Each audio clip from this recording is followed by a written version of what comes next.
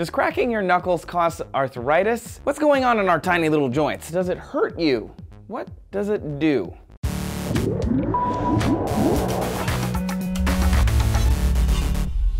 Hey y'all, Trace here, cracking on for D News. What is the big deal with knuckle cracking? I see it and I hear it all the time, but I have no idea what's going on inside the human body. There wasn't like a magic school bus inside the knuckle when I was growing up. First, some basic biology. Tendons connect muscle to bone, ligaments connect bone to bone. Your fingers are cool multi-hinge phalanges pulled by tendons connected to muscles in your palm and wrist. The tiny metacarpal finger bones are connected by ligaments to each other, and then the knuckle joints each have a synovial capsule containing synovial fluid. Synovial fluid contains nutrients for the bone and acts as a lubricant, so the bones aren't rubbing together. We wouldn't want that because they would eventually wear down, kind of like sanding wood or erosion.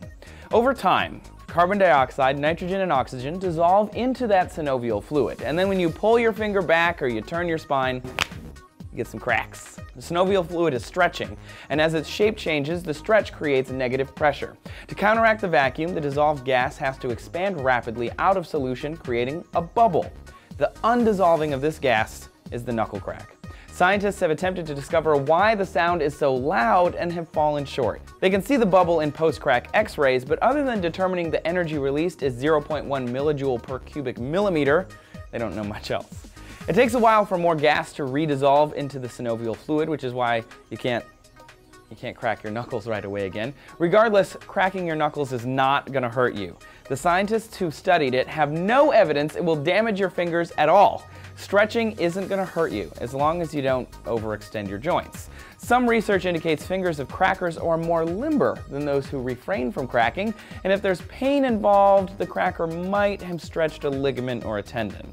There are some studies which claim lowered grip strength and joint stability in habitual long-time knuckle crackers, and a study in the Journal of the American Board of Family Medicine found an inverse correlation between knuckle cracking and osteoarthritis, but it wasn't statistically significant really. The myth of cracking causing arthritis probably comes from swollen arthritic tissues causing similar cracking noises. But arthritis is a whole different thing. There are more than 100 different types of arthritis, and it manifests as swelling of the joints causing pain and stiffness, and can lead to destruction of the tissue inside of that joint. Tissue inflammation is way different from air bubbles. ah, that was a good one. Are you a knuckle cracker? At this point, we know that I am. Get cracking in the comments, tweet at us, Facebook us, Google plus us, and whatever else. See you later. Thanks for watching.